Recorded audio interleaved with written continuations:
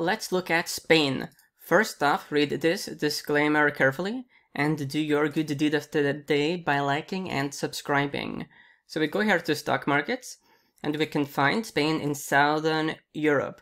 So 38% here from the low, minus 7-ish percent uh, pullback so far from the 52 week uh, highs.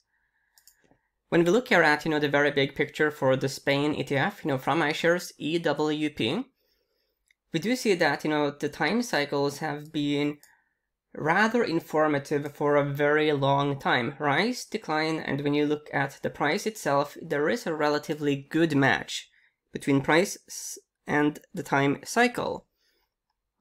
So when we look at, you know, this high, it formed early in the cycle. This high, it formed almost at the middle. Here we are approaching the middle. Um, so it kind of begs, begs the question, is there more left here in this uh, time cycle? The middle here, it's uh, early 2022, but the low part of the time cycle, that is way out here. So, um, yeah. The thing is that Spain is very, you know, far from the highs. If you do, you know, a measurement here, like that, okay, oops. So we see that we have been in a very substantial downtrend. So Spain has not, you know, seen anything close to a recovery from, you know, the global financial crisis.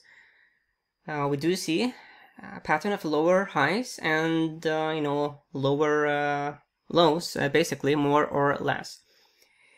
That kind of complicates things a bit in the sense that it is already already at a low level. Hence, um, it could be that because uh, the stocks are so depressed that maybe uh, there could be actually more left here in the rally. What I do find interesting here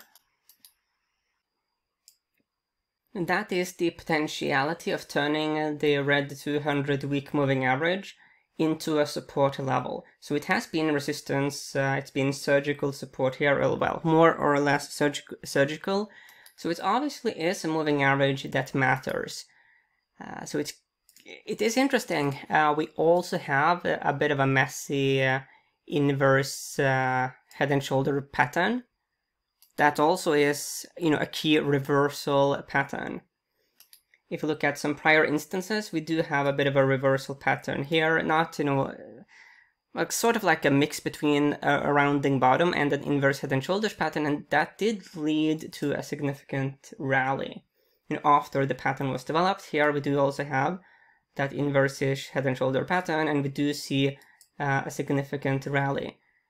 We haven't had so far, you know, that much of um, know, a breakout, I mean, we, we rallied a bit here, but then we went down to test the 200 week moving average. Uh, I'm, I'm, leaning a little bit skeptically uh, bullish. Uh, it is skeptical because we do have a big a big downtrend. But then again, um, when I look at this chart, is this an ideal place to go short, you know, Spain? Well, it is already at a low level. These are the kind of situations where it can be very dangerous also to become a bear because it's already at a low level. Uh, looking here at the daily data points, you get, of course, a lot more nuance. And lo and behold, we are goofing around with a moving average here as, as well. Here we have support from the blue 100 day moving average. Resistance became support we are goofing around a bit below it. Uh, it's not a disaster yet. Um, RSI is at a low level that has triggered many recoveries in the past, so it looks interesting. I also like to see here this consistent increase in accumulation. So there's obviously some institutions that are, that are loading up here on some Spain positions. Okay, okay. When we go here to stock charts and look at the seasonality, we do see that July is one of the strongest for Spain. That is obviously very relevant for us because this is in July. August, paradoxically, is the weakest month, so it's sort of like it's a mixed message. But then again, September, October is strong, so we could have a bit of a rally, potentially in July, maybe a bit of a pullback in August. Then September, October, you get you get strength. Mm, so so yeah, I'm leaning a bit bullish here. Uh, we do have this horizontal trend line, but we have lost the trend channel, so mixed messages here as well. When we compare uh, Spain to the S&P 500. The price earnings difference isn't that big, even though uh, the the, um, the charts look uh, dramatically different. So, but if we do calculate the difference, then the S&P is 15-ish uh, percent above uh, Spain uh, from a price earnings perspective. Then again, the dividend in Spain is way bigger. So you do get a 3 0.2-ish percent dividend, much, much, uh, much bigger than what you get here in uh, America. Which is which is nice. So at least you do get a nice dividend for waiting, and it does to some extent compensate for uh, further. Um, yeah, if if this if the ETF falls uh, further down. So here are the top uh, holdings uh, rather concentrated, only 21 here for Spain and 508 for America. Sector breakdown, utilities is big, and that is you know, one of the safe uh, play sectors. Uh, probably this is where nice chunk of the dividend comes from. And also finance also uh, typically you know likes to pay a dividend. Then communications, consumer, non-durables.